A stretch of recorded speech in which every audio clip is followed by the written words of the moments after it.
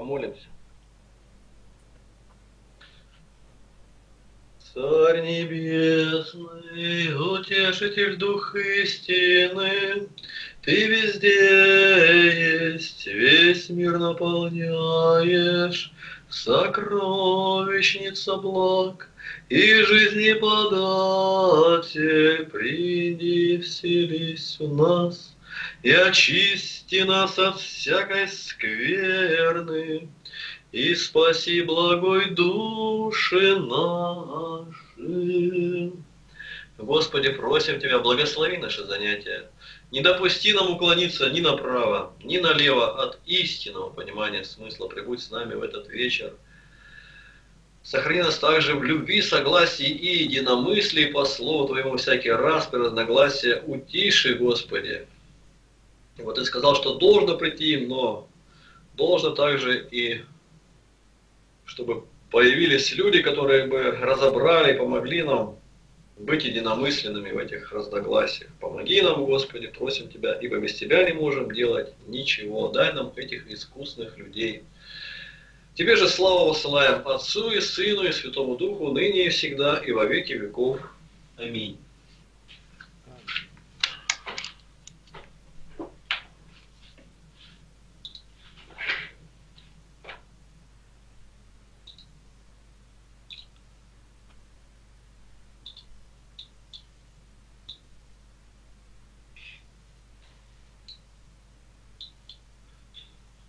Во имя Отца и Сына и Святого Духа. Аминь. Сегодня 5 января 2020 год. Послание к римлянам, 14 глава, 21 стих. Лучше не есть мясо и не пить вина и не делать ничего такого, от чего брат твой притыкается или соблазняется или изнемогает. Толкование. Ты, говорит, принуждаешь брата есть то, чего он не осмеливается есть а я говорю, что ты должен, а я говорю, что ты должен воздерживаться от всего, что соблазняет брата. Не потому, что это зло, ибо все чисто, но потому, что это соблазняет словом притыкается, показал, что он ослеплен, ибо притыкаются слепые, а соблазняется он как легкомысленный, изнемогает же как маловерный, Всем этим привлекает сильнейшего к помощи брату, как совершенно немощному. Вопросы? Ну, для тех, кто, может быть, забыл или э, не был на прошлом занятии, напоминаю, что мы говорили о том, что христиан, христиане, пришедшие из иудаизма, все держались еще Ветхого закона, который запрещал вкушать свиное мясо, то есть нечистых животных, закон Моисеевых, Моисея запрещал вкушать. И они, став христианами, не могли поверить в то, что уже Новый Завет, и что Бог все очистил, и все держались этого закона иудейского. А совершенные братья, они уже вкушали из язычников свинину и апостол Павел вот этих вот совершенных и несовершенных он хочет примирить. Совершенные, чтобы не превозносились, не тщеславились, а несовершенных, чтобы наконец-то уверовали и ну, поступали как совершенные, что ли. И вот он дальше, апостол Павел пишет, 14 глава, 22 стих. Ты имеешь веру, то есть он обращается к совершенному, который вкушает свинину, и не думает, что это нечисто. Имей ее сам в себе пред Богом. Блажен, кто не осуждает себя в том, что избирает. Толкование. Здесь тайна намекает на то, что совершенный высказывал совершенство свое по тщеславию. Говорит, ты хочешь показать мне, что совершен в вере относительно пищи, веря, что все хорошо и чисто? Не показывай мне, но удовольствуйся свидетельством совести пред Богом, которому показываешь это. Хотя другой и не увидит твоего блаженства, ты будешь доволен сам собой, если сам не осуждаешь себя, и совесть твоя не осуждает тебя вещи, которые ты одобрил или избрал. Разумеется, это только о настоящем предмете, то есть о пище. Вопросы?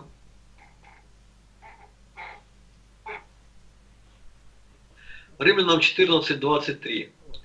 А сомневающийся, если ест, осуждается, потому что не по вере, а все, что не по вере, грех. Толкование. Кто сомневается, э, говорит, и ест, не убедившись, тот осуждается. Почему? Не потому, чтобы пища была нечиста, но потому, что не был уверен, что она чиста, и думал, что прикасался к ней как к нечистой.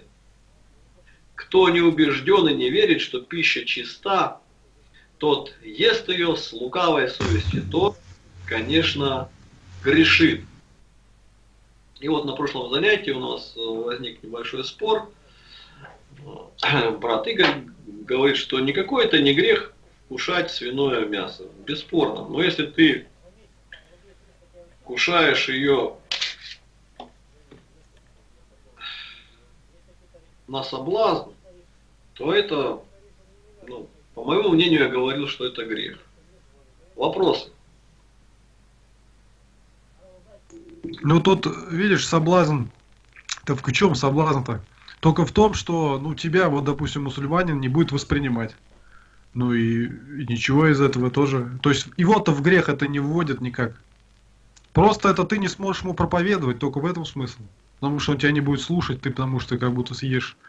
Он тебя будет как бы, ну ты для него никто будешь в этом смысле. Вот только в этом. Так-то ты, он и так, и так тебя не воспринимает. Если цель у тебя ему проповедовать Христа, то да. А если нету, все, можешь есть.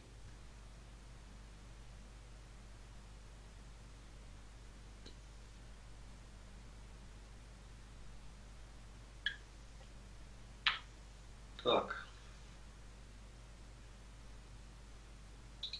Ну что, дальше идем.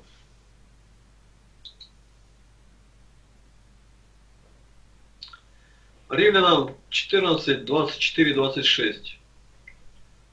Могущему же утвердить вас по благовествованию моему и проповеди Иисуса Христа по откровению тайны, о которой от вечных времен было умолчено, но которая ныне явлена и через Писания пророческие по повелению вечного Бога возвещена всем народам для покорения их вере, единому премудрому Богу через Иисуса Христа, слава во веки. Аминь.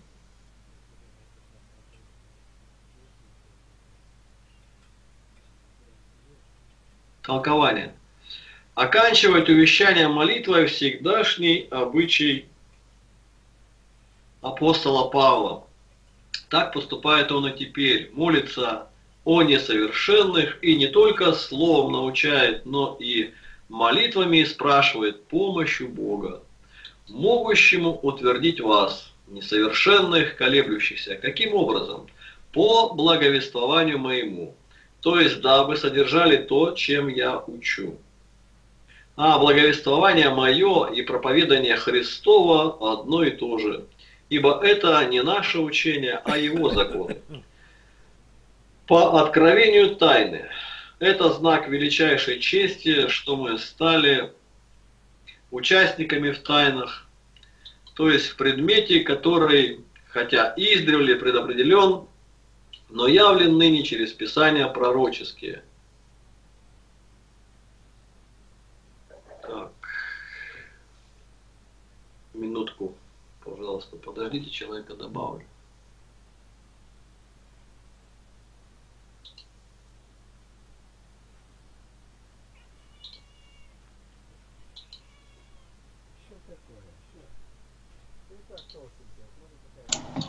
Мир всем. С миром.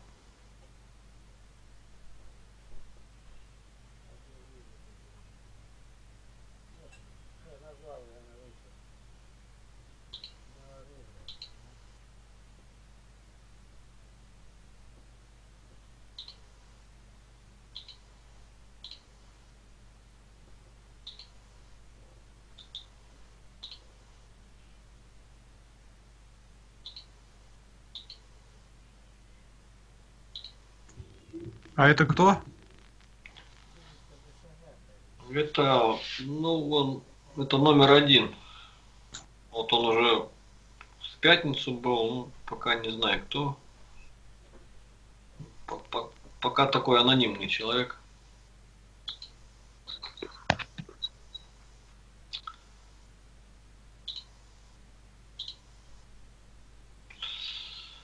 Так, просьба ко всем все-таки поставить свою фотографию и фото. Убедительная просьба, чтобы ну, мы же не скрываемся от вас. Я вот Сергей Пупков из Барнаула, все видно. Почему вы Имя, Сережа, не фотографию и фото, а фотографию и имя. Да, имя, фамилия и фотографию. Просьба. Нас можно в интернете найти, набрал нашу фамилию любого, вот Игнат Тихоновича, он, Сергея, хоть кого, и мы там в интернете есть. Что скрываться-то?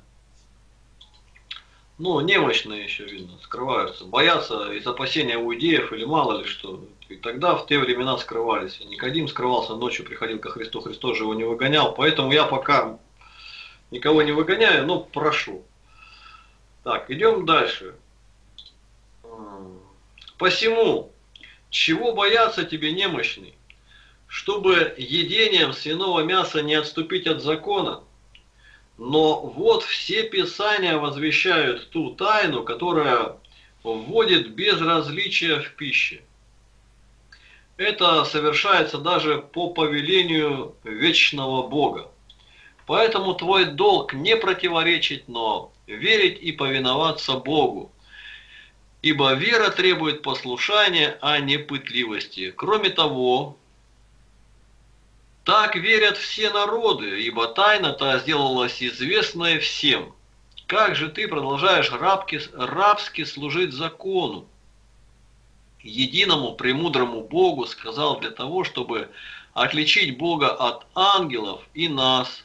Отнюдь не от сына, да не будет, ибо мудрость отца есть сын. Итак, слава тому, кто явил тайну Итак, слава тому, кто явил тайну, а не закону, к которому ты продолжаешь прибегать, наблюдая различия в пище. Открытой всем народам через Иисуса Христа, ибо тайну открыл народам сам тот, кто послал учеников научить все народы. Так. Вопросы?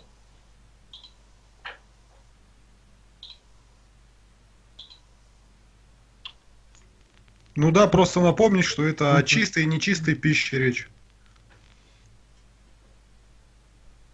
Да, только об этом. Ни о каких постах здесь э, речи не идет. И тот, кто перетолковывает эти места, натягивая на посты, тот согрешает.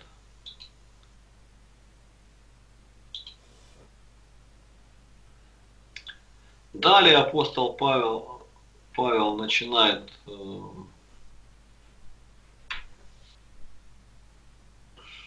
продолжает, вернее, увещевать уже сильных. И он говорит, мы сильные должны сносить немощи бессильных и не себе угождать. Толкование. После молитвы опять предлагает увещание и услаждает совершенных тем, что поставляет их наряду с собой, называет сильными – не сказал же просто немощи, но немощи бессильных, то есть усугубив выражение, чтобы привлечь их к большему милосердию. Сказав об обязанности нашей сносить немощи других, научает, как исполнять ее. Для этого, говорит, нужно, чтобы мы искали не своей, только пользы. Вопросы.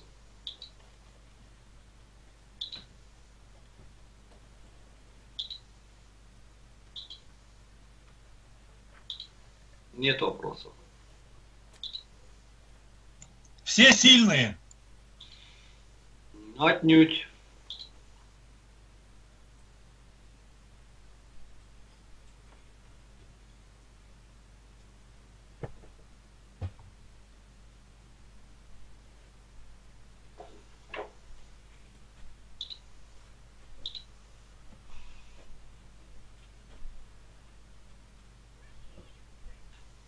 Римлянам 15.2. каждый из нас должен угождать ближнему во благо к назиданию. То есть каждый делает то, что угодно ближнему, и служи брату только во благо. Она бы не сказал, кто из совершенных. Вот и я влеку брата во благо, присовокупил к назиданию. Ибо хотя и благо то, что делаешь теперь, но так как это не благовременно, то дело твое обращается в разорение, ибо неблаговременное обличение не назидает. Ну, вот здесь такое, на мой взгляд, некое противоречие. Есть такое место в Священном Писании. Обличай во время и не во время. Увещевай, настой. А здесь, э, ну, говорят, что вот он пока еще немощный. Ну, хоть он и христианин, но он ест овощи, пока не время, пройдет время, может быть, уверует, то есть не сойди к нему. Такого же надо обличать, по идее. Ну, можно я тут немощным языком? Ну, скажи. Р- рассужу тут тебя. Там, где ты место к Тимофею приводишь, там говорится о том, что это проповедь идет, то есть к людям неверующим. А здесь к братьям назидание.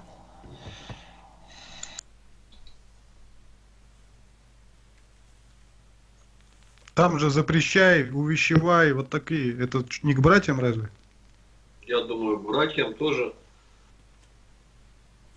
А Мне кажется, запрещать-то внешним-то? К внешним, ну как, да даже и, и, и братьям иной раз сказано, не мечите бисер перед свиньями. Кто свиньи? Это братья, которые ведут свин, свиную жизнь, которые едят свинину в пост, например. Он свинья, что ему бисер метать? Он неверующий совершенно. Называется православным, посты нарушает. Тогда он вовсе и не брат. Так, ну тут... э, Значит, конкретно обращать надо именно к этому делу. Именно вот к этому. Не едение мяса, а именно к нему. И все. То есть то, что ты вчера говорил, грех, грех, грех, оно тебя вот сейчас в ловушку поймало. А это не не грех, а назидание должно быть. И вот такое, когда благовременное, а не благовременное. Чтобы не разорить. Ну, мне кажется, тут не, э, в любом случае уж э, даже вовремя, в любом случае, этот, обличение должно быть с рассуждением. Ну, то есть, а с рассуждением, следовательно, вовремя. Уж понятное дело, что просто так там не вовремя сказать действительно не будет назиданию. По предыдущему можно еще Василия Великого зачитать? Ну, на, ну, в чат скиньте, чтобы нам видно было текст.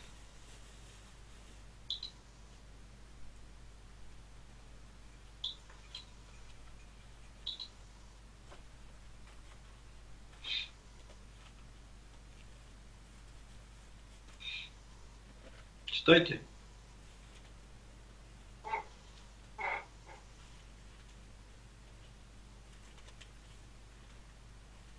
Ну или давайте я зачитаю. То есть как, си, как сильные должны носить немощи э, бессильных? Ответ. Ежели носить, значит взять и уврачевать по написанному, что он взял на себя немощи и понес болезни. Матфея 8, 17, Исайя 53, 4. Не в том смысле, что возлагает он это сам на себя, но в том, что врачует страждущих. То есть здесь прилично будет разуметь тот способ и закон покаяния, которым врачуются немощные при попечительности сильнейших. То есть сильнейший, который ест свинину, он должен сначала убедить этого человека. Э, Пред этим лучше, конечно, самому не есть, Ну, я так думаю. А когда уже он убедится и скажет, да, я был неправ, все, Господь очистил то, что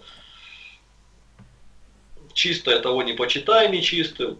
Вот, кстати, впереди мы читали, что все Писание говорит, что вот эти вот уже нечистых животных не, не существует, и весь почему-то языческий мир в это уверовал. Где это толкователь, откуда взял, кто может э, напомнить? Где это в Священном Писании написано, что ну, все это отменяется? Я имею в виду, что на тот момент, когда это писалось к римлянам, ни деяний еще, наверное, книги не было, ни Нового Завета еще э, как такового, наверное, не существовало, написанного. Когда это было послание написано к римлянам? То есть они руководствовались только Ветхим Заветом, Моисеевым законом. И в этом законе должно быть пророчество, которое вы говорило, что когда-то наступят времена, что можно чистое уже и нечистое уже не, не различать. У них там собор был. В деяниях описано это. Они собрались и решили это. Там апостолы. Но это То есть это опи- описано в деяниях-то описано это, но это было-то еще до того, как описано в деяниях. Соответственно, уже всем знали. Разослали всем язычникам, чтобы они удерживались от идола жертвенного, а, там, блуда. И... Крови и удавленины. Да. Но и, и идоложертвенное, и чистое, и нечистое это разные вещи. Нужно различать, братья. Нет, но вот там и было это, что вот от этого типа удерживайтесь. То есть нет ничего про нечистого не сказано. Следовательно, нет этого. Оно ну, и не может быть, потому что 10 глава нам рассказывает об апостоле Петре, как он получил от Господа это знамение, это, это сосуд в виде полотна за четыре угла с неба, сошедший со всякими животными, а. земноводными и так далее, птицей. Ну, ты сейчас расскажи иудею или там мусульманину, мне было видение, что вот я сон мне приснился, что теперь свинину можно есть. Что тебе мусульманин скажет? Знаешь, что со своим сном? Отдыхай. Меня ты не переубедишь. Тут, тут э, не на сне должно быть, а убеждение. А толкователь нам говорит, что все Писание говорило об этом. Вот что меня смущает. -то. У язычника вообще не было чистого, нечистого. Да. И как они, они вообще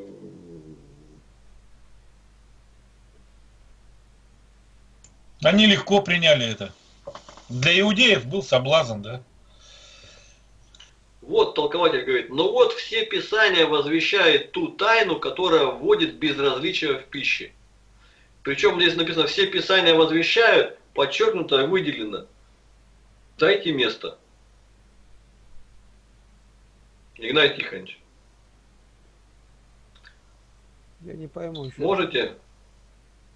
что, что-то ты Без меня вас. зовешь? Да. Так мое время не настало еще полчаса. У нас вопрос по прочитанному. Ну, да. Мы сейчас разбираем да. послание к римлянам, и у меня вопрос. Здесь толкователь говорит, вот все писания возвещают ту тайну, которая вводит безразличие в пище. Ну. Где различия в пище, Писание, я знаю, где это написано, я найду легко. А где без различия в пище Писание говорит, я имею в виду Ветхий Завет. Да прямо к Тимофею пишет, говорит, всякое творение Божие хорошо, ничто не предосудительно, если принимается дальше, ощущается Словом Божьим молитвой. А кто по-другому? Да, они не могли учиться иудеи на, на, на толкованиях к Тимофею. Это мы сегодня их имеем. Тогда не было еще этих э, толк... посланий к Тимофею. Я не успел сказать, ты меня перебил, значит я не нужен.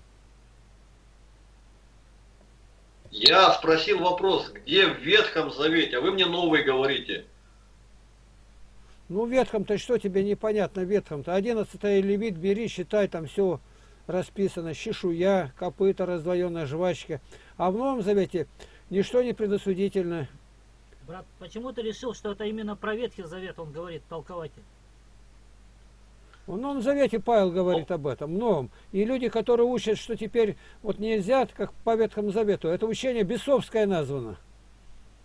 Это очень строгий приговор, запрещающий вступать в брак и вкушать пищу то, что Бог сотворил. Ну, еще дальше пояснять нечего. Ты в Китае... Ну тогда вопрос такой, Игнатий Игнатьевич, тогда такой вопрос. А вот до принятия закона они могли свинину есть? Верблюжатину, конину? Какого закона? Христианского? Ну, который разделил, вы сами сейчас назвали левитом. Ну, об этом мы считаем. Деяние, 15 глава. Они уже на соборном решении это вынесли. Нет, он говорит э, про Левит 11 главу, до того, как закон Моисея установил. Они все мясо ели подряд. Там вот Авраам и другие, вот, которые были. Ян Златоуст очень просто поясняет. Не потому, что нельзя было, или творение, написано, все сотворилось, все хорошо, весьма хорошо. Это нам только кажется, что нехорошо, а у Бога это все хорошо. А почему? У них был Бог бык, они сделали вала, идущего траву, 105-й псалом говорит. Они поклонялись быку, как в Индии. Так это же не Бог, это творение. А вот теперь стиснул Господь их. А у них что там были с собой-то? Какие? Как раз было, были животные, держали копытных со жвачкой. А остальное нельзя есть. И они вынуждены были по неволе колоть эту скотину. То есть Господь принудительно их заставлял божество разрушить. Только поэтому. Не то, что там бык вкуснее, чем крокодил. Нет, конечно. Только так. То нельзя, это можно. А что можно, то считалось не, прит- не притрагивается священная корова. И вынуждена эта обстановка, а они стиснутые таким повелением, начали колоть богов, увидели, никакие это не боги. В Индии, как говорит, вот он торгует там каким-то зеленью, а корова зашла на базаре. И он не имеет права отогнать. Он плачет стоит, она все пожирает. Я один раз считал такое, город Бомбей, это многомиллионный город. И каким-то путем на аэродром попали коровы.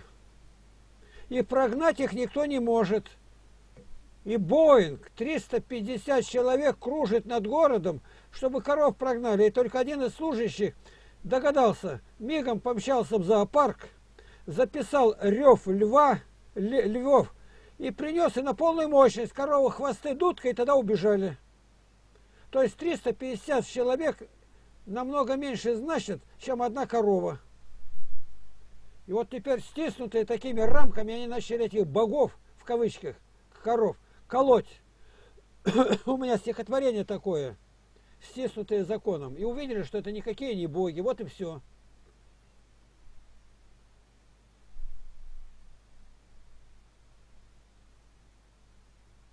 Ну, теперь на места-то все стало, Сереж, что ты понял теперь? То есть до закона могли Что есть. тут объяснять? Я даже не знаю, что объяснять-то, когда Господь так сделал. А причина, почему сказал чисто не чисто, не по творению, а по тому, что там, где они жили, в языческой стране, оно посчиталось за божество. Чистейшее и святейшее. А теперь то нельзя, другое нельзя, одного быка резать. А что делать? Вначале резать. И увидели, что не Бог. Все. У меня вопрос был такой. Как на основании Ветхого Завета убедить христианина иудея вкушать свинину? Еще раз повторяю вопрос. Как на основании Ветхого Завета убедить христианина иудея Никак. вкушать свинину, которого Никак. научили ее не вкушать? Тебя никто не ставил убеждать.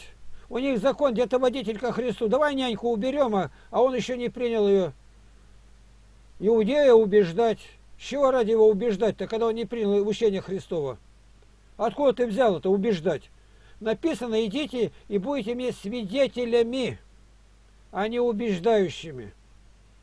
Мы забыли, что в Евангелии написано свидетельствовать о Боге, а не убеждать. Поведут перед правителей для свидетельства. А обращать это не наше дело, а Божье. Благодать обращающая ему принадлежит. Все. Сережа, ты опять так и не дошел, что ли?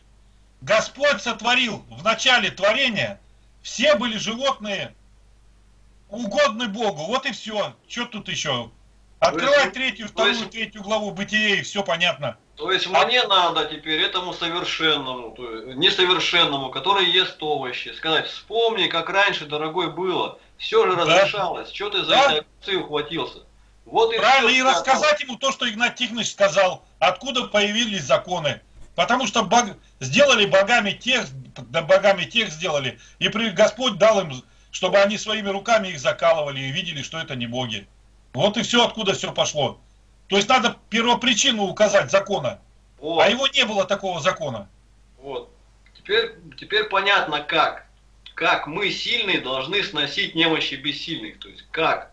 Вот убеждением, не просто тому на ешь, а иначе отлучу тебя от церкви.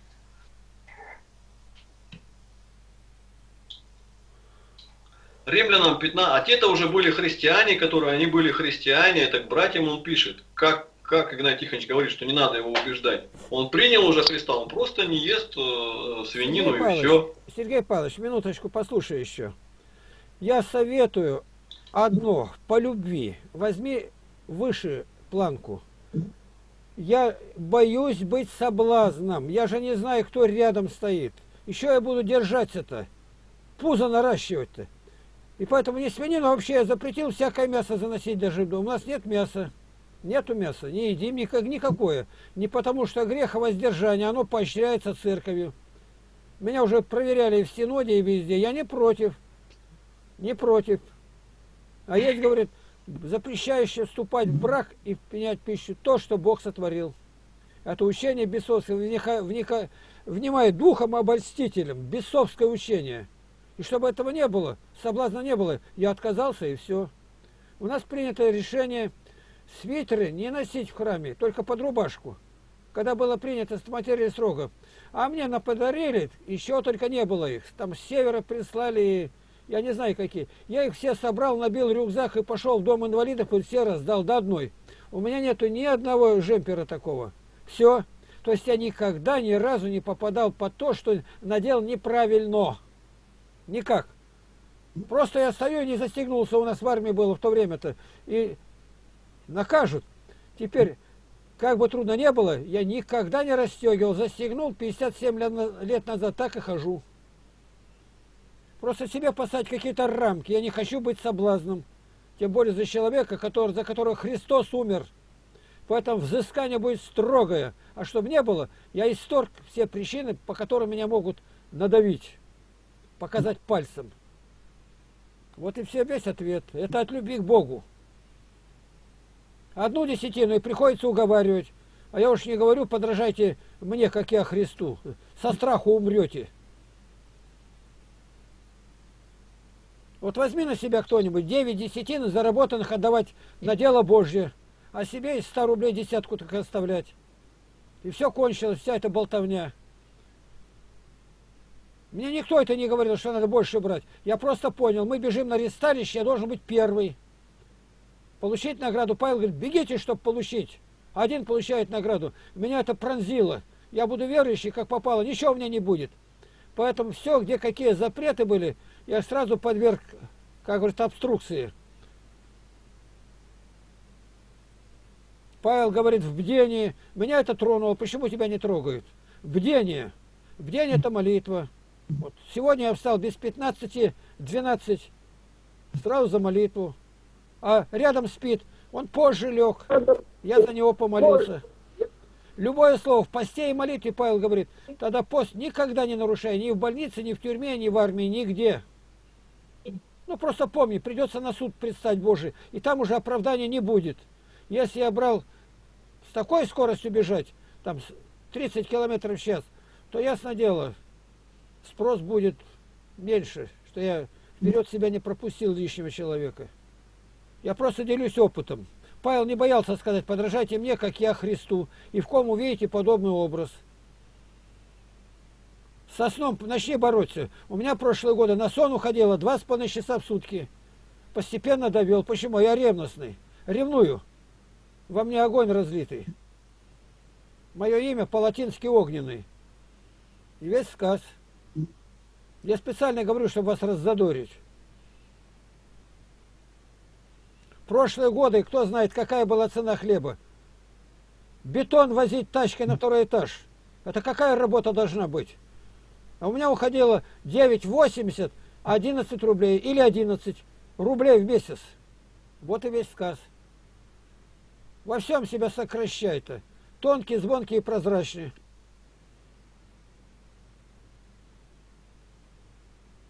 Игнат Тихонович, пенсию подняли, да, вам?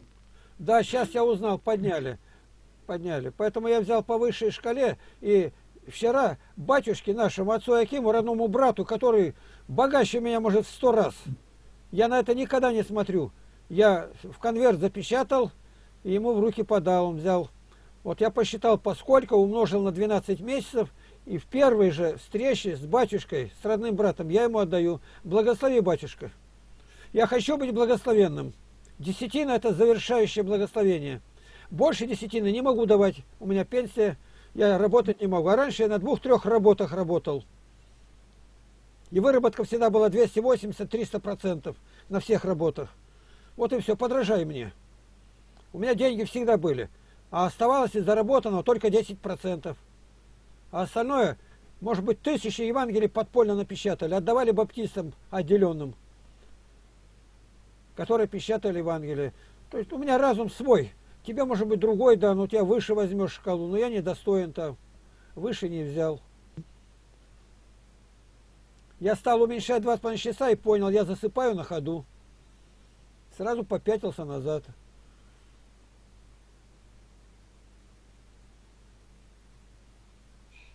А сейчас сколько вы спите, Игнатий Тихонович? Я сижу, печатаю, руки печатают, а голова-то уже... Я носом упал, нос разбил, кровь потекла. Уже раза три клюнул в клавиатуру. Сегодня чуть не на занятие чуть не упал, локоть подскользнулся. А, они уже меня тут охраняют, друзья, братья мои любимые. Ну, не удержался, потому что встал-то когда? В начало суток я вошел бодрствующий в интернете. Сколько тут работы? Сколько у меня? 12 или 13 помощников. И они все, мне надо разнести, картинками снабдить, повторы проверить, потом закачать, потом выставлять. Ежедневно выставляю в среднем 35 роликов. Молился сколько лет? Помощников Господи, наставников, советников. И в этом году Бог дал. И каких советников, помощников-то? Радостные все.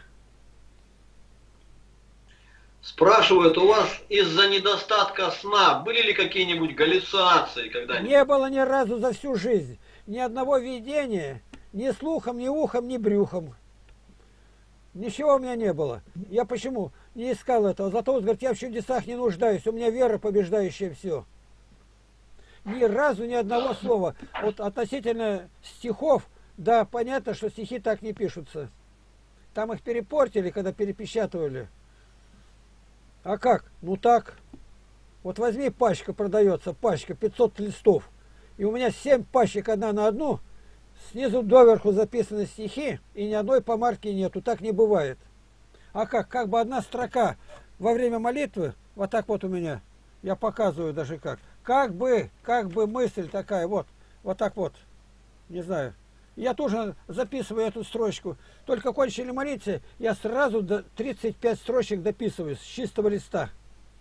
Сегодня слушаю, это во много крат выше моего интеллекта. Я доверяю Богу, благодарю Бога. Коров пошел пасти, нынче попросили там, ну вот несколько лет назад-то. Я вечером вернулся, четыре стихотворения по 36 строчек. Не зря Виктор Николаевич столько их положил на музыку.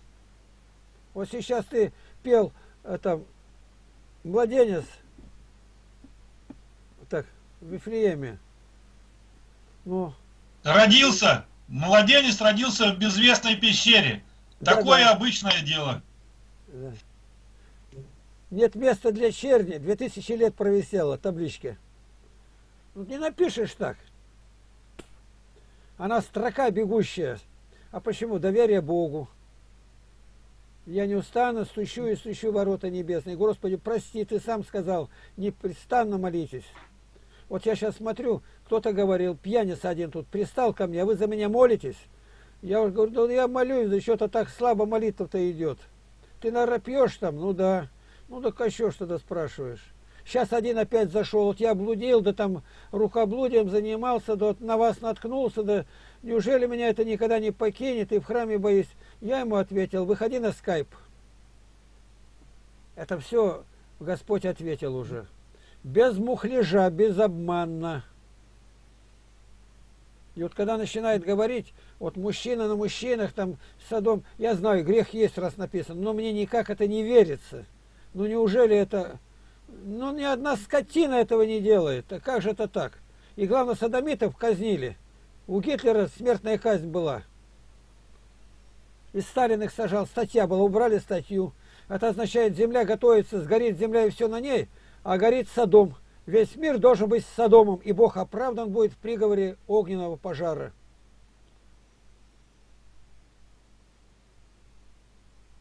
Вот щатки все пьют. Игнать, Я им показываю, почему вы пытаетесь залить блудный огонь, который предвещает генский огонь. Как богач просил, конец перста. Я им объясняю как. Вот почему вы пьете все блудники. Слушаю. Игнат Тихонович, ну Ой. до 4.40-то поспите хоть раз-то полностью. Хоть, хоть один день-то. Никак, не могу. При кончине, вот я знаю, был Владимир Куц, фамилия Куц. Он в Вельбурне заработал золотые медали на дальней дистанции, 5 и 10 тысяч метров. И он, я тогда в армии был, еще считал, там где-то 59 что ли год где-то. Особенно близко к финишу надо прилагать. А у меня финиш-то при большей крепости 80, а я уже на, на 9 десяток перелез. Это что ж такое? Мне говорят, вас не будет, тут начнется дележ. Вроде, ну имущества нет, Володе все подписано. А за командование, я думаю, не надо никогда. Я нигде же не командую. И вот позвал меня Сергей, я вышел. Утром сказал, молитесь. Я начал молиться вслух. Я нигде не лезу. А зачем? Потому что то, что слышит, я все переваривать должен. Сравнивать. Мысленно проповедь говорю.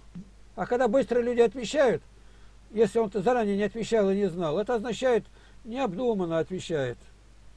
Особенно женщины, она нелегкомысленная. Не успеет мужик сказать, она тррр, три слова в раз. И припомнить, что 10 лет назад было. Это Лев Толстой пишет. Норовит сказать два слова в раз.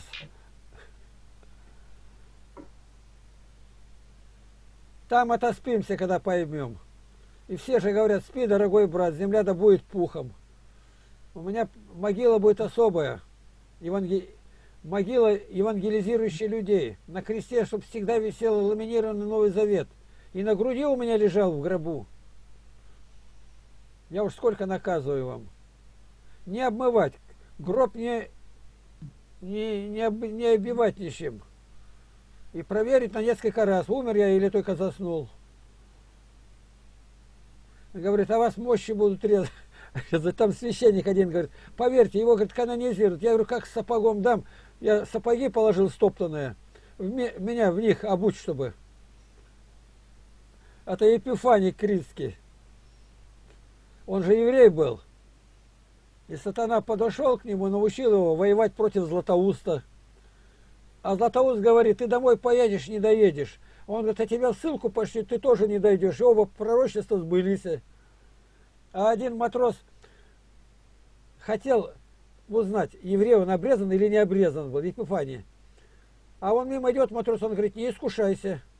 А он не понял. И когда его уже положили, он все уже умер-то. А он подошел и покрывало решил поднять и посмотреть у него там обрезан или не обрезан. Он как мертвый, как дал ему. Он головой об палубу коньки откинул.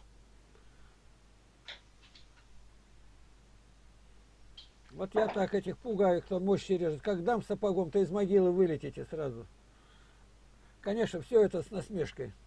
А то скажут, смотри, к святым прилабунился. Игнат Тихонович, А, Игнат Тихонович, а псалтырь с выражением читать на русском языке, да?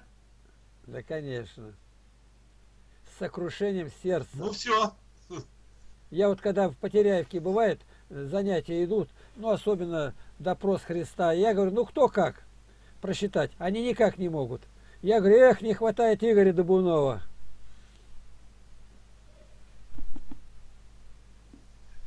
Со стороны кого? Но прочитать с выражением какой-то текст. Надо же воображать. Это Пилат говорит, вот это Христос отвечает. А они так монотонно, ну как у Грибоедова Александра Сергеевича тоже написано. считай, говорит, с толком, с расстановкой. Не как дьячок. С, чувств, с толком, с чувством, с расстановкой. Да, да. Постой-ка, постой же, на листке черкни на записном. Во вторник звон, звон там, на форели. А там, когда она, говорит, не родила, но по расчету моему она должна родить.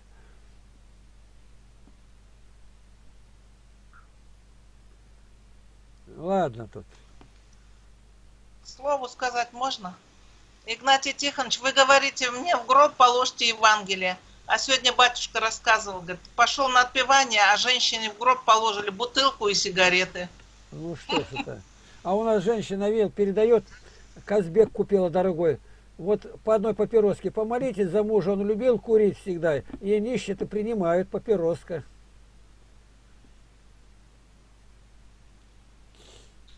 Что надо, за себя я подал. Говорят так, когда человек не болел и подал, это как золото. А когда заболел, раздавать начал, как серебро. А когда его же деньгами распорядятся после смерти, это как медные монеты. Так что мне Господь дал счастье при жизни все в золото превратить. Вот говорю так специально, просто ревнители сейчас начнут, о, он себя возвысил. Написано, говорит, хвалящийся хвались Господом, я Господом хвалюсь. Я прожил легко, свободно. Ко мне в рот никто не залез, за всю жизнь ни разу. Вот сегодня я снимаю, но уже не снимал, как причащаются. А когда начался молебен о благодарности за прошедший год-то, и потом ко кресту, батюшка уже прям вплотную подошел и головой крутит, ну еще тут записывать уже было. А он не знает, когда батюшки не будет, а у нас будет другой священник, из патриархии будем призывать, чтобы не переходить мы никуда не будем. Ну, как сейчас, они же приезжают, служат, и архиерей, батюшка, когда уезжает сейчас, он идет к митрополиту Сергию и говорит, меня не будет, а тут нужда будет какая-то. Он говорит, а кого вы хотите? Кого? Сергея Беляева, он бывший секретарь, секретарь митрополии. Он у нас был здесь легкий такой, ну, разговоре-то, невъедливый. И мы можем заранее знать, десятина у нас остается, узнать, сколько он истратил, хорошо отдать, дать ему, и всех предупредить, в это время придут на исповедь. И мы ничего не, не умираем со страху. Но показать ему будет, что вот так было. Вот батюшка так выходил. Вот люди подходили к кресту. Какой батюшка простой, доступный чтобы они видели, чему подражать. Батюшка этого не понимает. Нам нужно больше сохранить вот то, что батюшка ведет службу, как двери отворяются, как он выходит, как считает. Я ему как-то один раз сказал, говорю, ты считаешь Евангелие, почему из алтаря-то не выходишь-то? Да куда тут выходить-то? Я говорю, почему не выходишь? Он сейчас шаг делает, останавливается. Вот теперь вышел. Он прислушивается. А где еще-то не так, так ну помолчать да и отойти. Я пришел к нему, а у него приехал священник с матушкой. Ну, там еще несколько послушники сидят за столом. Ну, вот, что в чашку наклоняются, это уж не, сма... не говори. А матушка ходит без платка. Матушка. До, до локтей голый. Я ему сказал, батюшка, время-то позднее уже, тебе надо домой, наверное, идти. Батюшка, всего хорошего. Я пол предложения не сказал, развернулся, был таковский, вышел, думаю, какой же батюшка у нас добрый. С, сохранил меня от большего греха. Иду и сам над собой смеюсь.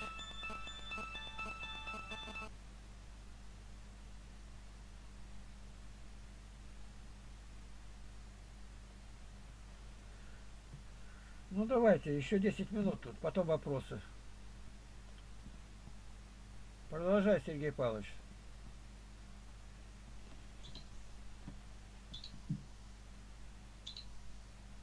Все меня спрашивают, как вы разные там неприятности устраняете. Я говорю, у меня четыре, не, не два, четыре программиста, которые на страже стоят и помогают. Вот как Бог делает. Отошел. Римлянам. Так, где мы остановились? -то? Римлянам 15.1. Мы, сильные, должны сносить немощи бессильных и не себе угождать. Толкование. После молитвы опять предлагает увещание и услаждает совершенных тем, что поставляет их наряду с собой и называет сильными.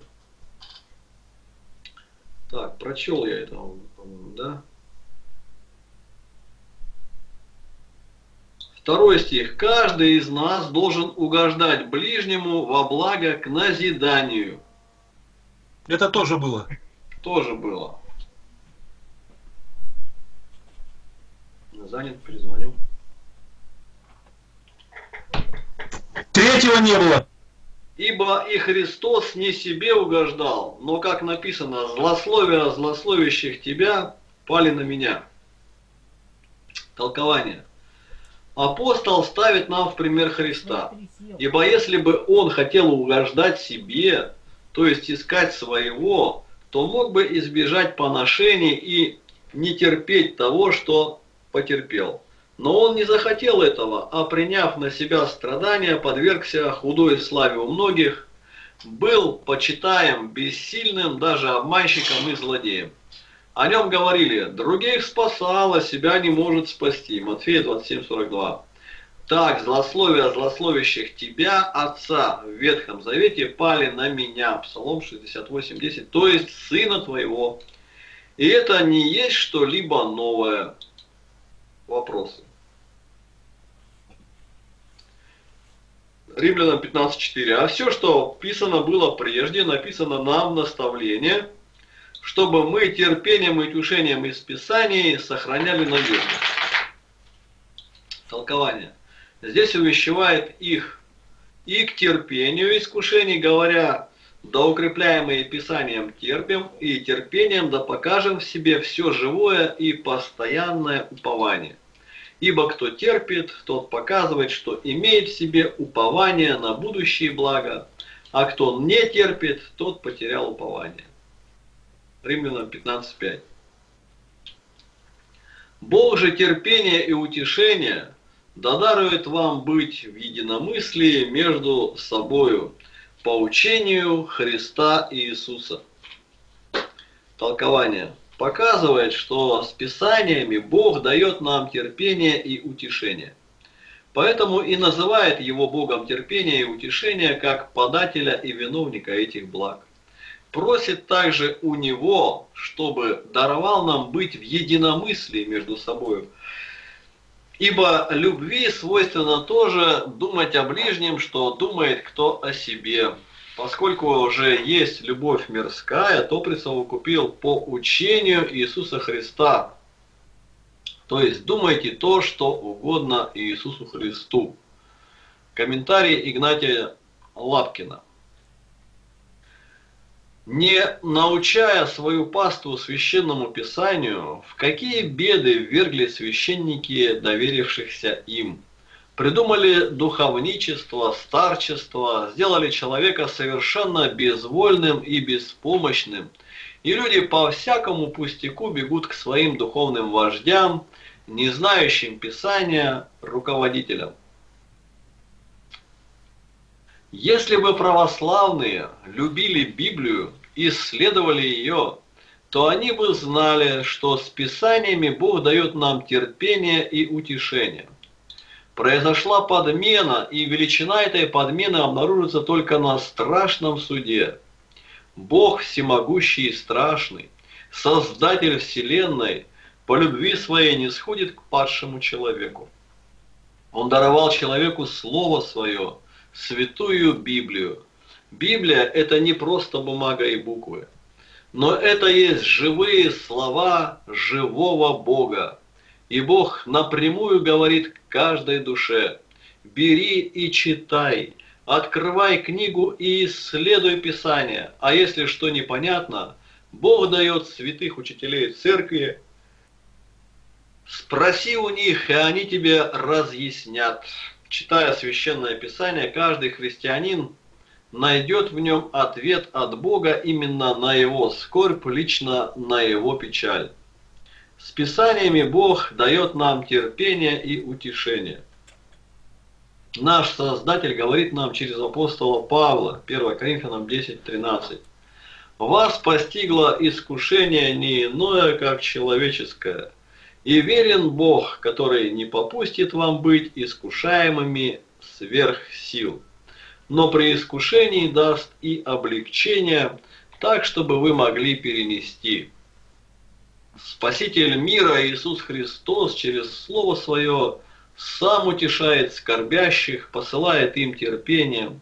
Сегодня священники взяли на себя миссию и утешителей, и наставников, совершенно не сверяясь с Библией. Библия враждебна их деятельности в этом плане, потому что только она и разрешает все скорби и печали. Нужно только знать, где это место Писания. С Писаниями Бог дает нам терпение и утешение.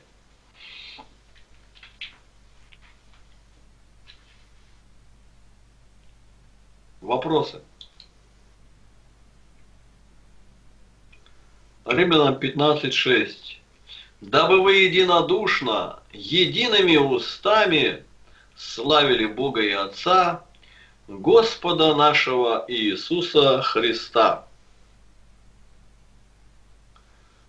Толкование. Что же бывает плодом единомыслия? Прославление Бога не только одними устами, но и одной душой, ибо это значит единодушно. Здесь слово Бога следует отделить, отнеся его к предыдущему, и потом читать с нового начала. И Отца Господа нашего Иисуса Христа. Впрочем, не будет неприличия, если читать эти слова и не отдельно, то есть разумея Бога и Отца по отношению к единому и тому же Христу, ибо Бог Отец есть Бог Христа по человечеству, а Отец по божественности.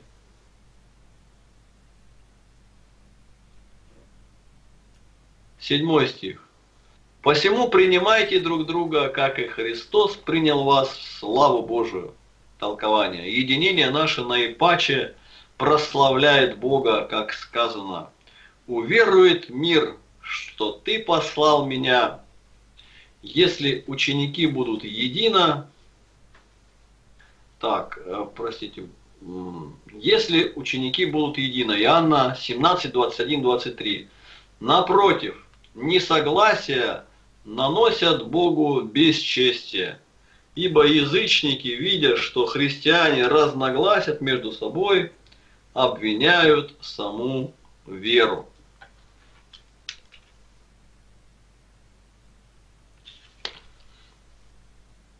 Вопросы есть? Восьмой стих. Разумею то, что Иисус Христос сделался служителем для обрезанных ради истины Божией, чтобы исполнить обещанное Отцам. Толкование держится прежнего предмета речи, показывая, что Христос не себе угождал, но все принял для нас и убеждает язычников, чтобы не превозносились над уверовавшими из иудеев. Ибо иудеи спасались по обетованию данному отцам их, а язычники по одному милосердию и человеколюбию. Смысл сказанного такой.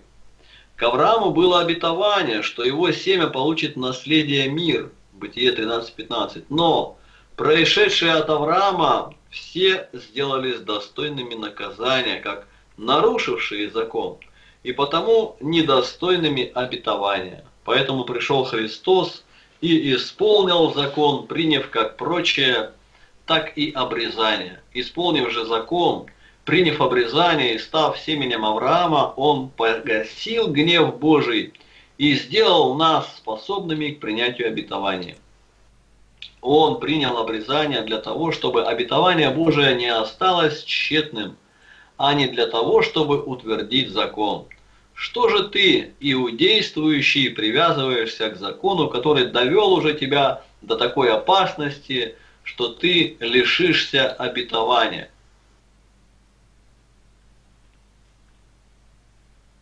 Вопросы.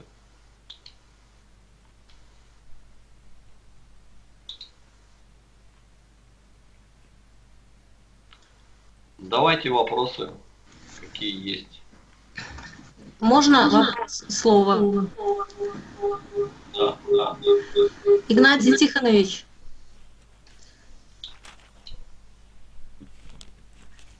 Давай. Игнатий Тихонович, Ирина из Минска. Благодарю за молитвы. Сегодня я приняла истинное крещение, ну, восполнение крещения погружением трехкратным. Искала и нашла батюшку, который, у которого действительно душа болела. Он понимал, что нужно, э, для чего нужно троекратное погружение. Вот, и сегодня он крестил меня. Очень благодатное было крещение, и душа наполняется радостью, легкостью. Действительно ощущаешь вот эту благодать, легкость от оставленных грехов. Вот. Господь милостив. Столько было искушений, до последнего часа даже вот, пришли креститься, трое младенцев крестились и двое взрослых. Прямо вот перед самым крещением меняют купель. Там начался ремонт э, в баптистерии, где для взро- взрослых можно покре- э. Меняют помещение, друг- другой храм. Это в монастыре было. Вот. А там для взрослых нет погружения, только для младенцев. Э, Ну, я сказала, что я не буду креститься, потому что я со священником договаривалась, и он обещал погрузить меня. Вот, связались со священником, он там все уладил, договорился. И потом сказал мне, что я очень за вас переживал. Ну, он чувствовал, наверное, что будут искушения такие. Он все правильно понимал. Вот, и таинство это прошло благодатно, хорошо. Он объяснял, все, все объяснял, что для чего делается, как, все молитвы. Вот. Спаси Христос вас, благодарю вас за молитвы. Очень много было искушений, прям ну и тоже и радости были, получила ваши книги как раз вовремя, вот буквально перед крещением. А у вас Вот, и другие были радости. У вас не засняли это крещение? Ну, мы снимали, я еще не посмотрела, я вот не, буквально недавно мы приехали, долго очень это все шло и затянулось, потому что здание меняли помещение и затянулось крещение. Вот, но мы успели еще причаститься, там последняя служба была, причастили нас. Вот. Благодарю вас, это благодаря вам я осознала истинность крещения, что действительно должно быть погружение, потому что э, помню в сознательном возрасте я крестилась вместе со своим ребенком, я была не крещенная, крестила сына, э, верующая кума, она как бы, ну, насто... ну, не настояла, она объяснила, что важно крещение, и я ради сына, но я хотела ребенку хорошего, конечно, все же мамы хотят, а священник тогда сказал, что крестить не будет, если мама не крещена. И я крестилась не ради оставления грехов, а ради своего сына, потому что ему желала хорошего. Вот, и тогда нас, это был где-то 90-й год, священник крестил нас окроплением. И тогда еще я поняла, что ну, что-то какое-то неправильное крещение. То есть душа это понимала, наверное, что неправильно это. Но так как везде все принималось, и везде всех крестят окроплением, то ну так вот и жила, и как бы какой-то вот груз и чувствовался на душе, что-то такое вот необъяснимое, томилась душа. Вот. Я с вами хочу еще потом выйти, конечно, на видео звонок. Просто сейчас нет у меня таких условий, чтобы поговорить с вами. Потом расскажу вам еще более подробно, может быть, как, как я вас нашла. Сейчас не буду время занимать. И хочу спросить у вас. Вот священник, к которому я ходила на исповедь, исповедовалась, он молодой, он канонически раньше э, его по- рукоположили до 30 лет, я так вижу, понимаю. Но он такой ревностный был, и мне понравилось то, что он по справедливости так вот все старался по закону, Слово Божье, и нес, и людям объяснял всегда правила все, и я к нему ходила исповедоваться. Но когда я ему сказала, что хочу креститься погружением, что неправильно я была крещена, он это он сказал, что ну что, это все равно считается крещением. Так, И ладно. говорит, я не Так, знаю, я не Оставьте знаю, пока- где вы пока. найдете так. Пока оставьте, мы отдельно поговорим. Тут у людей могут быть вопросы. Мгм. Я просто хочу- понял, как мне помнил быть? вас, насколько мог. Ночью сегодня тоже помолиться, и сразу вы всплыли передо мной. Мгм. Благодарю вас, спаси Христос за Слава ваши Христу. молитвы. Кто готовится... Ну, потом я будет, с вами еще выйду на звонок, когда, когда у меня получится. Простите. Слава Христу. Слава Христу.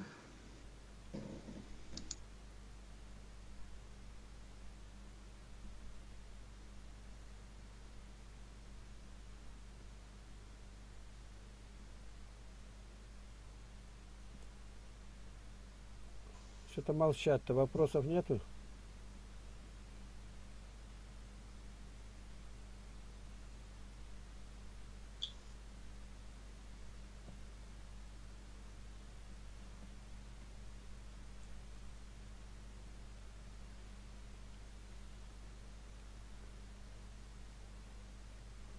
Сергей Павлович, что, то ли отключили людей, что, замолчали-то все? Нет, просто нету вопросов и все. Да нет, это неправда, вопросы есть. Может быть, люди научились не задавать вопросов уже. Все ответы уже есть на сайте. Бери, читай. Ну да. Сейчас и слушать уже можно.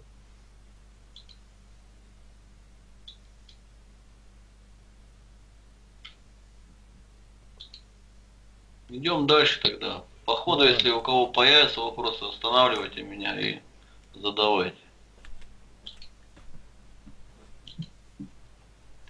Римлянам 15.9. А для язычников из милости, чтобы славили Бога, как написано, «Зато буду славить Тебя, Господи, между язычниками, и буду петь имени Твоему». Толкование. Происшедшие из иудеев, хотя и недостойны были, однако имели обетование, а ты, призванный из язычества, спасен по одному человеколюбию, поэтому и обязан ты особенно славить Бога. Бог же славится тогда, когда вы живете в союзе и единении между собой, когда ты сносишь немощных. Римлянам 15, 10, 12. И еще сказано, возвеселитесь, язычники, с народом его. И еще, хвалите Господа, все язычники, и прославляйте его все народы. Исаия также говорит, будет корень Иисеев и восстанет владеть народами, на него язычники надеяться будут. Толкование. Привел все эти свидетельства в доказательство того, что призванные из язычников должны жить в единении и быть в единомыслии с пришедшими из иудеев.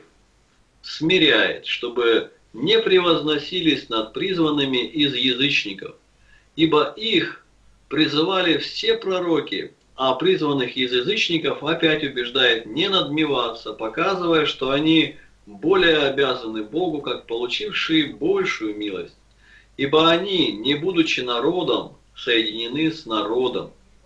Слова «буду славить тебя между язычниками» Да, перед призванными, да. Я оговорился. Чтобы не превозносились пред призванными из язычников, ибо их призывали все пророки, а призванных из язычников опять убеждает не надмеваться, показывая, что они более обязаны Богу, как получившие большую милость, ибо они, не будучи народом, соединены с народом. Слова «буду славить тебя между язычниками» сказаны от лица Христова. Вместо слов «проповедую тебя, Отче, в народах». а слова «будет корень Иисеев» сказаны вместо «от корня Иисеева вырастет тот, кто восстанет владеть народами, то есть Христос». Вопросы?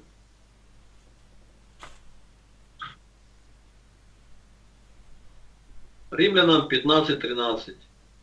Бог же надежды да исполнит вас всякой радости и мира в вере, дабы вы силою Духа Святого обогатились надеждою. Толкование. Молит, чтобы верующие из иудеев исполнились радости, ибо они печалились от укоризны, а верующие из язычников исполнились мира, ибо они являлись враждующими против придерживавшихся закона. Лучше сказать молит, чтобы те и другие исполнились, исполнились радости и мира. Как же сделать это? Верой. А вера какое благо доставляет нам? Богатство надежда, ибо кто верит будущим благом и остается доволен настоящими, тот богат надеждой, то есть ожидает будущих благ и переносит все временные бедствия. А какое благо доставляет нам упование? Приобретение силы Духа Святого, которое соделает упование наше крепчайшим. Ибо упование с одной стороны доставляет нам силу Духа Святого, а с другой становится в нас от Духа Святого крепче. Вопросы?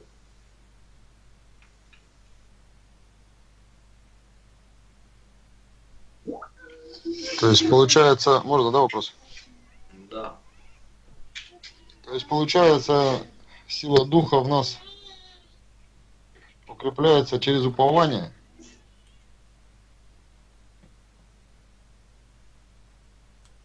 Так, а какое благо нам доставляет упова- упование? Так.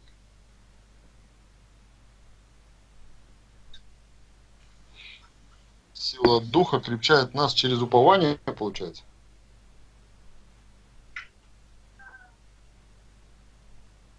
Именно так. У- Через упование мы получаем Святого Духа. Силу. Но тут разговор идет о том, что это уже крещенные люди, уже верующие христиане здесь. Отсюда и моем- Святой. В моем случае учение, терпение.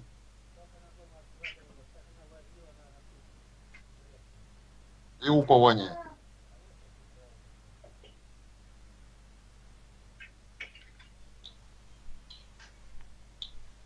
Но упование на что, опять же, нужно пояснить. Я думаю, что, наверное, на учение, на Слово Божие, да?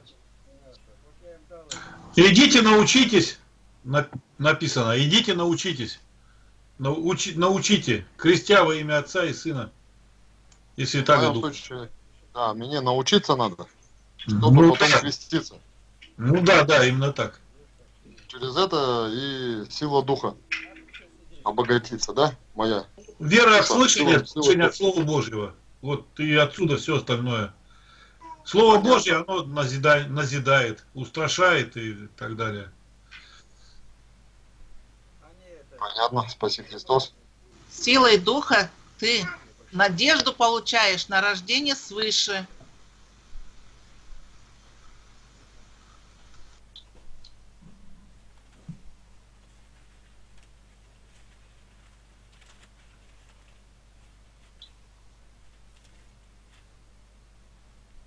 Силы Духа Святого, которая.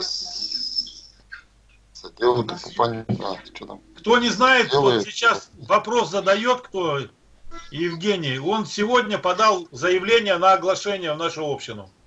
Помолитесь о нем. Да, помолитесь, братья. Сестры-то. У меня, видать, интернет слабый, я, наверное, там у меня все это шипит. Да нет, не шипит, нормально. Просто все проникнулись.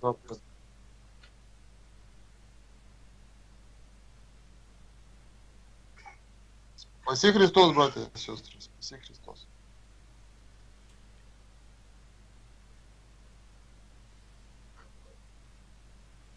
У тебя какое-то недоумение по упованию, то есть как-то ты так вот читаешь, как будто...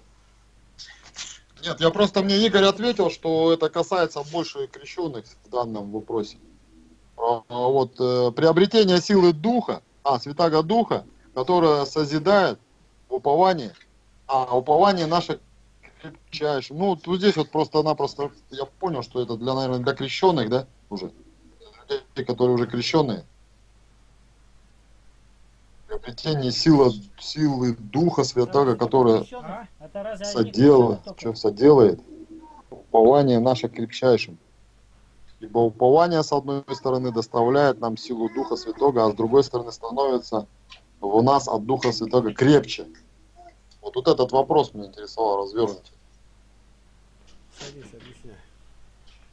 Значит, пока мне не открыто, наверное, понимание об этом. Можно, брат Сергей, мне? Давай. Дело в том, что я вот по своему собственному опыту отвечу. Вот я когда уверовал во Христа, э, мне Господь обильно дал э, тоже благовествовать Слово Божие, то есть в Духе Святом. И потому э, говорить крещеный, не крещеный, я думаю, здесь все в руках Божьих. То есть насколько ты вмести- можешь себя вместить это все, что у тебя Господь дает. То есть я вот именно Духа Святого в благовестии, например, вот в этом отношении имею в виду.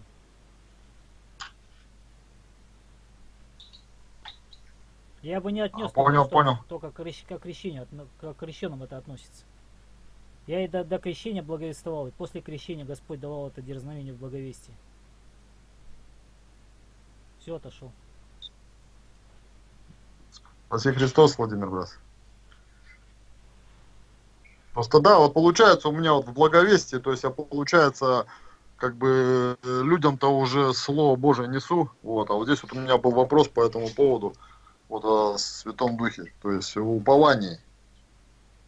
Здесь вот брат Владимир мне ответил более, более точно и развернуто. Спаси Христос.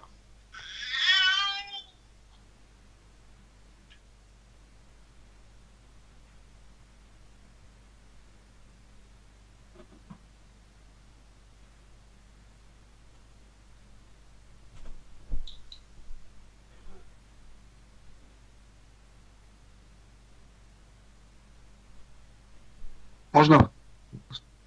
Да. Вот э, до этого стих упоминает апостол Иисея. А чем он э, знаменит? Вот, напомните, пожалуйста, что он его вспоминает именно в этом контексте.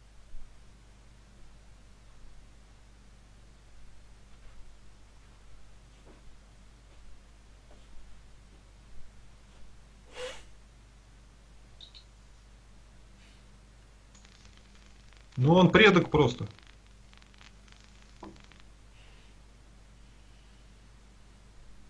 А почему он именно и его, этого предка, упоминает? Или это Ну, это пророчество, пророчество. О нем говорит, и вот поэтому. Ну вот пророк Его- Исаия говорил про него. Исаия также говорит, будет корень Иисеев и восстанет владеть народами. На него язычники надеяться будут. Здесь на него с большой буквы, но Иисей как-то каким-то образом будет владеть народами.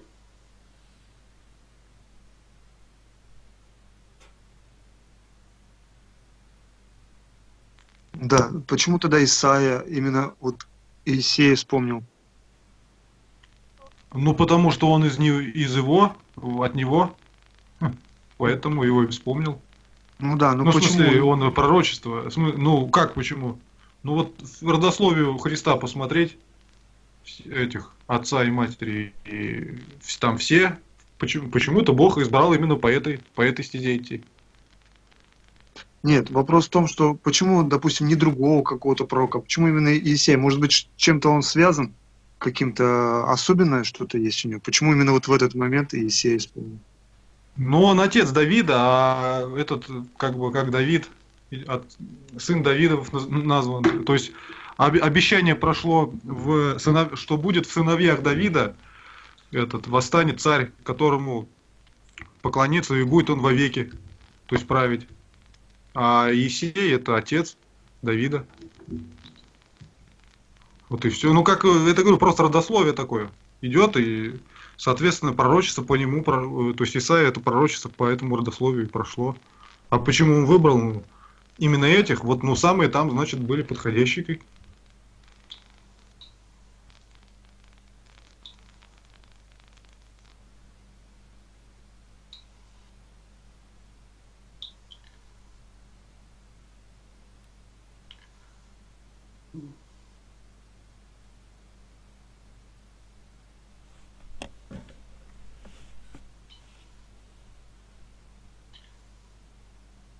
Ну, потому что Иисей ро- родил Д- Давида царя, от Давида Христос. Ну, по колену, и, то есть, мы же не спрашиваем, почему колено именно Иудина Господь выбрал. Да, Игнатий Тихонович, давайте отвечайте вы. Пророк Исаия – это единственный пророк, у которого прозвище Ветхозаветний евангелист.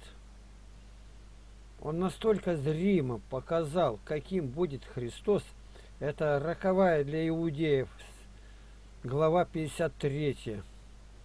Притом они стандартно все отвечают, опустив голову, об этом не будем говорить. То есть где-то внутри все-таки есть у них там луч света пропадает, попадает, что это речь идет о Христе. Он изъязлен был за грехи наши, мучим за беззаконие наше. О ком говорится? Об Израиле. Ну какой Израиль-то, какие язвы-то? Мучим за Он за свои беззакония-то не знал, что делать. Шел в плен. Ну то есть тут тактика уже. Если человек Духом Святым обладаем, он даже не, не будет думать. Дух Святой придет и научит о всякой правде, о суде Божьем. И поэтому он взял этого пророка, самое мощнейшее доказательство. А что отсюда, прямо говорит Иисеев, это отец его Иисей. И никуда нельзя увернуть. Меня неоднократно спрашивают мусульмане, ну а у вас в Библии-то что-то есть предсказание о нашем пророке, который был-то? Ну, предсказание может быть намеком там, где говорится, кто не исповедует Христа, пришедшего во плоти. Вот кто не исповедует его, а он приш... исповедовал? Нет, не исповедовал. Ну, я ни при чем тут, там написано. Явилось много антихристов, и эти антихристы будут. Отрицает Христа, на Христе все замкнулось. Он не признает кто, а кто? Патриарх не признает, Папа Римский, антихрист. Разницы никакой нету. Потому что это против всего идти. И он не как-то, а пришел, пришел к нам во плоти. Бог принял плоть. А как это может? А зачем тебе рассуждать как? Никто не знает, как это тайна велия. А у них нет ни духовного рассуждения никакого. Внешнее правило беру да идти с искажением. Благодати разумения Писания нету совершенно у всех людей, которые не приняли Христа как Спасителя, умершего за их грехи. А раз не приняли, за них ходатайства и нету. А раз нету, значит Дух Святой не сходит. Вот у Милоша описано о том, как приходили крещение принимать, которые турки. Они, но сказали, говорят, мы были крещенные родителями, когда маленькие были, потому что у, у нас, говорит, у мусульман, говорит, очень часто дети беснуются, бесноватые. И они нашли лекарство, приходите крестить, а дальше воспитываются в законах своих. Окрестили правильно, троекратное полное погружение. И святые отцы рассудили, крещение это не признавать действительным, нет его. Так он полное погружение, без веры. Главного условия нету. Его не, не учили, он вырос, настоящий боевик, все. Тут хорошо это, как а для Христа это никак никак. Тут надо так поставить. Правильно рассуждаете по плоти, умеете хранить своих женщин, то другое. Но здесь-то речь идет о том, что Христос взял ли ваши грехи. А если вы не признаете его смерти, он и не взял. Начаток, мы называемся начаток, плоть наша. Ян Златоуст говорит, а почему начаток? Ну, вначале он плоть сотворил, а потом вдунул. И наш начаток, тело человеческое, было вознесено на небо. Образно картину представляем так, что Бог, который является справедливостью, по справедливости должен наказать и истребить. А Христос говорит, Господи, Отец мой Небесный, я умер за них, этот грех, вот какой он там, то, другое, блудник, я как блудник умирал, там как, я как убийца умирал, и показывает раны, то есть начаток наш вознесен. Если я не пойду, то Дух Святой не придет, потому что умилостивление не достигнет своей цели. Вот надо рассуждать. Начаток наш там. А они его не признают, что он вознесся, значит, ничего у них и нету. Они не прощены, так во грехах умирают. Те люди, те люди, которые Христа не приняли, не имеет значения, как они называются, христиане, буддисты, муслимы, никакого. Принял или не принял Христа, пришедшего во плоть. А не принял. Ну, антихрист написано, дух антихриста. И все. Вся святость кверх ногами. Тут надо просто открывать истину и понимать. Наш начаток за всех людей, он говорит, нет, он не вознес, значит, за тебя и нет, тогда ты не принимал это. А не принял, значит, и, и молиться ты не можешь. А он такой-то хороший был, пророк и прочее. Ну и что? Он не Бога у вас. Бог, только Бог мог искупить. Бог совместился с человеком. А как может? Да никто не знает и никогда не узнает. Как, как? А дьявол может так сделать? Нет, не может. Только призрачно. Он не может быть. Вот Бога человек и дьявол, дьявол человек. Может ли быть? Нет. По делам ваш отец дьявол, это может. А сделать, чтобы одновременно он был никак. И предтеча, и сам антихрист, и предтеча антихриста, это будут люди еврейской национальности из колена Данова.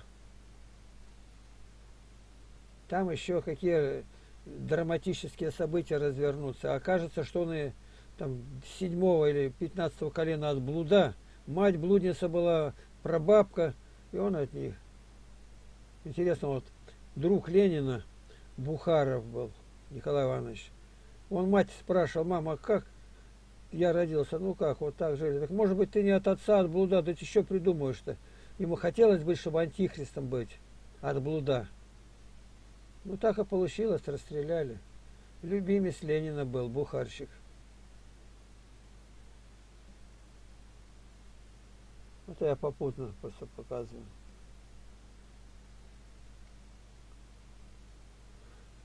Тут надо все принимать со смирением, с благодарением и петь Аллилуйя.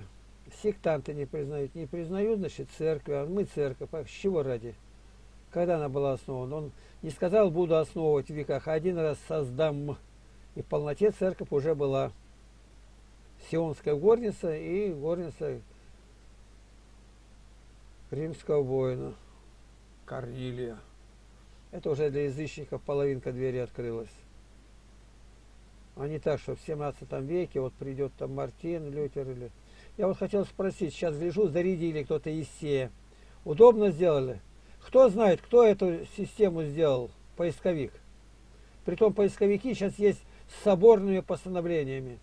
Вселенские, поместные и святые отцы. Но не канонические книги нету. Кто это сделал? Когда я писал книги, мне было очень удобно копировать места – я сразу, близкий, который у меня был тут программист, я говорю, найди мне его, найди.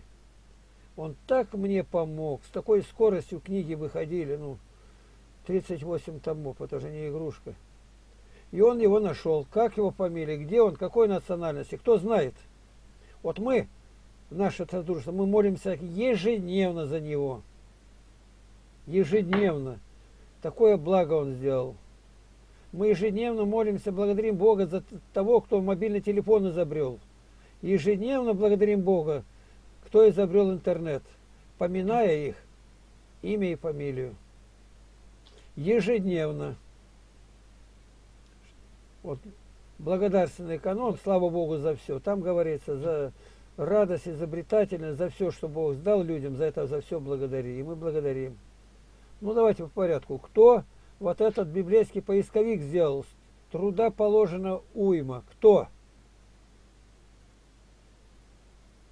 Разошлись, никого нету.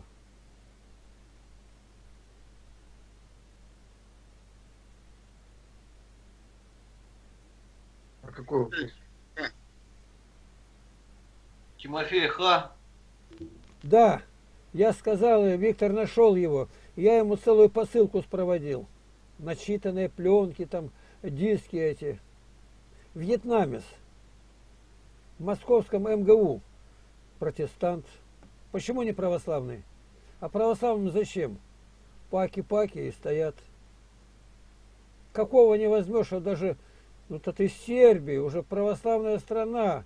Ник Вуйчич, без рук, без ног. Протестант. А если бы не протестант, ну лежал бы в коляске, копейки собирал. Другого-то ничего у нас не калеки-то, калека-то куда? Ну в храм.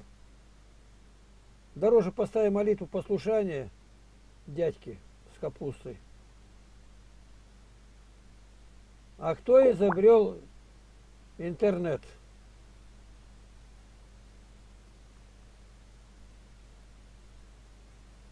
Там Тимофей Ха, Ха фамилия, два, две буквы Ха. Он о себе открыто пишет биографию. Когда-то на велосипеде ехал, ну, маленький велосипед-то был-то. И я, говорит, упал. А мать впереди шла, она как бросилась поднимать меня. Но вот когда-то прошло время, уже я, говорит, в 10 или где классе учился, я, может, что-то не так скажу. И матери было тяжело, и она там упала где-то, я не подошел. Я эгоист. Он сам себе приговор вынес. И мы ежедневно молимся за него, за Тимофея. Тимоша. Ну а кто изобрел интернет и телефон? У нас в лагере все это написано, малые дети все знали наизусть.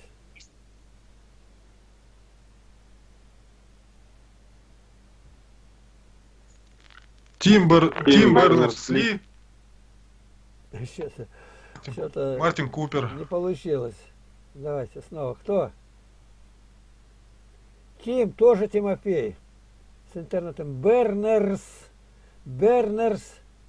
И снова с большой буквы Ли. Хотя он выглядит как европеец, но что-то здесь в фамилии корейская. Тим Бернерс Ли. А телефон Мартин Купер. И мы ежедневно Тимофея, Тимофея, Мартина.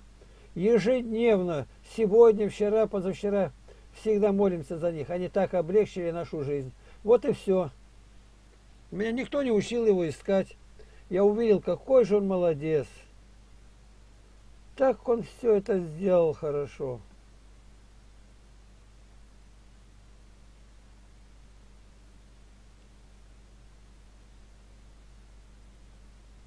Ну все. Давай на молитву, Сергей Павлович, зови.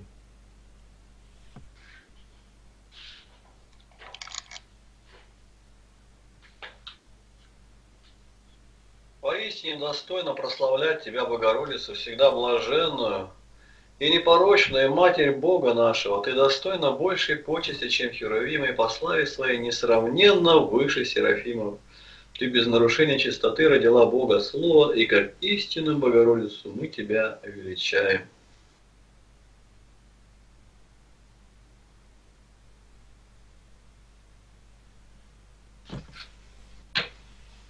Пускай Роман Фроликов помолится.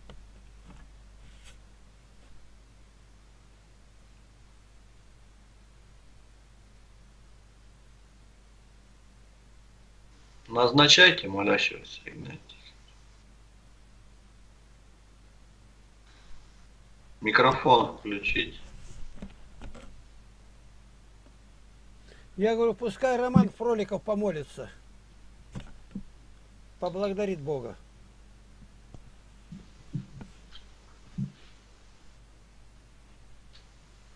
Благодарю Тебя, Господи, Боже наш, за то, что предоставляешь нам время и место, даешь нам пищу и все наше здоровье во благовремени.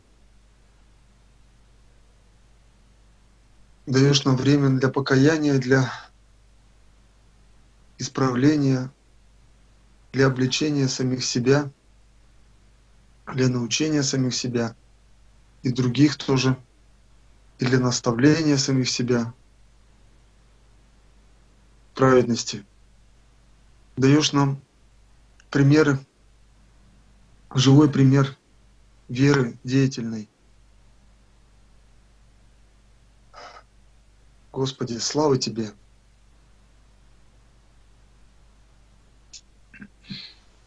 Аминь. Аминь. Аминь. Нас православные это еще и молиться-то не знают как. Почему Петр Первый сказал, впредь, чтобы не по бумажке говорили. Доклад, когда делают сенаторы. Говорили. Дабы дурь каждого вида. Сенаторы. Цвет какой. Каждого вида. Вот какой.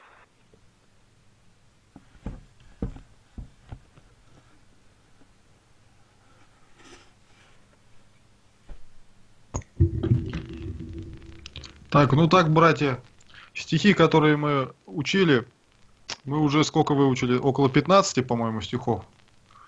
Ну вот у нас это, Рождество же впереди. Так что на среду никакой новый стих не будет задаваться, будет закрепляться вот эти стихи, которые мы выучили, и в среду мы их, а, кто может, расскажет, чтобы повторить все стихи, время было. Потому что надо закрепить еще. Уже то, что выучено, уже много, хорошо. Чтобы надо закрепить. Согласен.